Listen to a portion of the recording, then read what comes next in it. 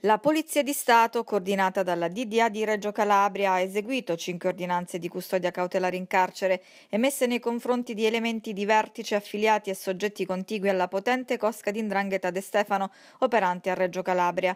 Gli indagati sono ritenuti responsabili a vario titolo di associazione mafiosa, estorsione e tentata estorsione ai danni di affermati imprenditori, aggravate dal metodo mafioso. Gli investigatori della squadra mobile, coadiuvati dagli equipaggi dell'ufficio volanti della Questura di Reggio Calabria, Calabria hanno eseguito anche perquisizioni domiciliari a carico degli stessi indagati. Al centro delle indagini ci sono i lavori di rifacimento di Corso Garibaldi e di Piazza Duomo della città dello Stretto. Il blitz della polizia è scattato questa mattina all'alba. L'indagine denominata Nuovo Corso, coordinata dal procuratore Giovanni Bombardieri, ha documentato ulteriormente l'esistenza e l'operatività della Cosca De Stefano sul territorio, soprattutto nel settore delle estorsioni in danno di imprenditori aggiudicatari di gare d'appalto per la realizzazione realizzazione di opere pubbliche. L'inchiesta della squadra mobile ha fatto luce sulle gravi vicende estorsive poste in essere in danno di un noto imprenditore reggino e di un suo consociato aggiudicatari degli appalti pubblici per il rifacimento di Corso Garibaldi. Lo stesso imprenditore ha subito un'altra estorsione per i lavori di rifacimento di Piazza Duomo di Reggio Calabria.